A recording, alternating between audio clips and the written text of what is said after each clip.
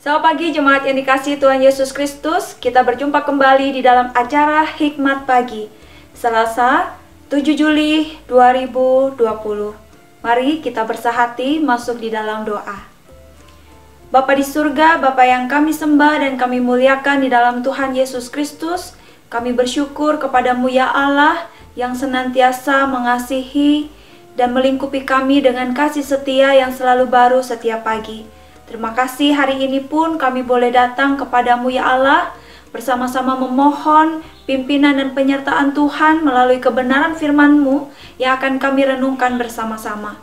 Bersabdalah karena kami siap untuk belajar firman-Mu dan melakukannya di dalam kehidupan kami. Di dalam nama Tuhan Yesus kami sudah berdoa. Amin. Tema renungan sabda kita hari ini adalah hati Allah.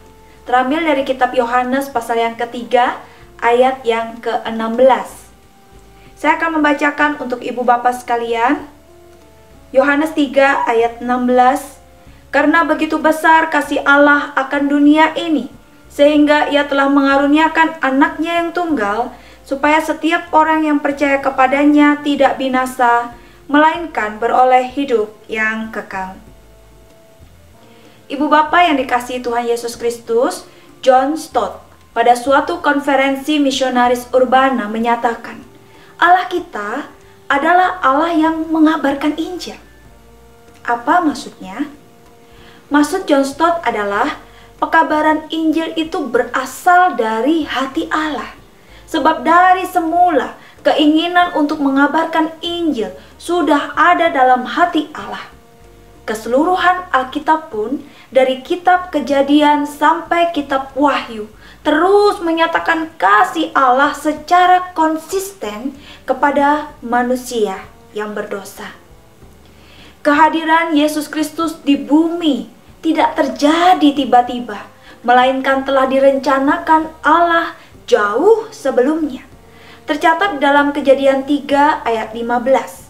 Aku akan mengadakan permusuhan antara engkau dan perempuan ini, antara keturunanmu dan keturunannya. Keturunannya akan meremukkan kepalamu dan engkau akan meremukkan tumitnya.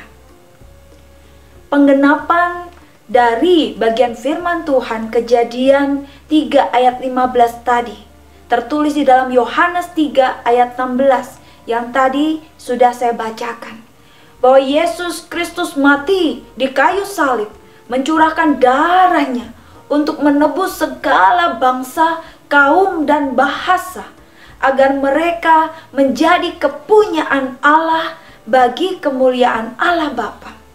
Itulah misi Allah di dalam dan melalui diri Kristus Yesus yang datang dalam dunia ini. Sesungguhnya merupakan hak istimewa bagi setiap kita orang yang percaya kepadanya untuk terlibat di dalam pekerjaan misi Allah bagi dunia ini.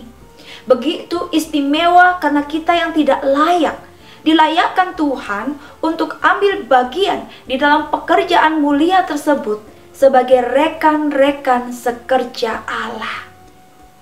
Berapa banyak orang Kristen menyadari hal tersebut?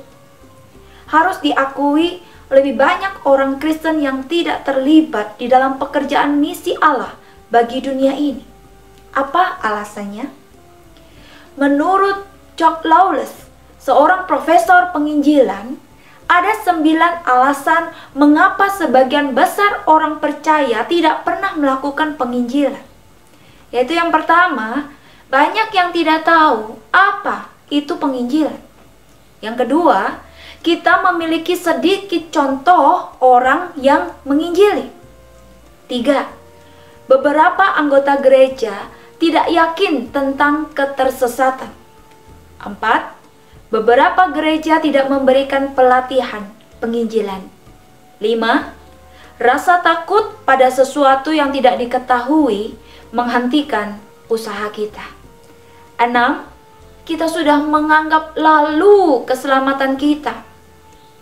Yang ketujuh, para pendeta berinisiatif dalam penginjilan. 8. Bagaimanapun kita tidak benar-benar tahu bahwa banyak orang yang terhilang. Sembilan, kita tidak peduli dengan orang yang tidak percaya. Ibu Bapak yang dikasih Tuhan Yesus Kristus, bagaimana dengan kita? Apakah kita memperhatikan isi hati Allah dan terlibat di dalamnya? Mari kita mengingat, misi Allah harus diteruskan kepada segenap bangsa di muka bumi. Mengerti isi hati Allah adalah terlibat di dalam misinya. Mari kita berdoa. Puji syukur kepadamu ya Tuhan, kembali mengingatkan setiap kami akan kerinduan hati Allah, agar keselamatan di dalam Tuhan Yesus Kristus boleh dinyatakan kepada semua orang. Dan kiranya kami juga boleh turut ambil bagian, terlibat di dalamnya, sehingga banyak orang yang boleh mendengar keselamatan di dalam Tuhan Yesus Kristus dan menerima Tuhan Yesus sebagai Tuhan dan Juru Selamat di dalam kehidupan mereka. Satu-satunya jalan dan kebenaran dan hidup untuk kami boleh datang kepada Allah Bapa di surga. Berkati dan pakai setiap kami di dalam keseharian kami, supaya kami juga boleh menyatakan kebenaran dengan lidah bibir kami. Dan sekali lagi banyak orang yang boleh dibawa datang kepadamu ya Allah dan mengalami anugerah keselamatan di dalam Tuhan Yesus Kristus. Terima kasih, kami percayakan kehidupan kami hari ini hanya di dalam tangan pengasihan Tuhan. Di dalam nama Tuhan Yesus Kristus kami sudah berdoa. Amin. Selamat pagi, selamat berkarya, Tuhan Yesus memberkati.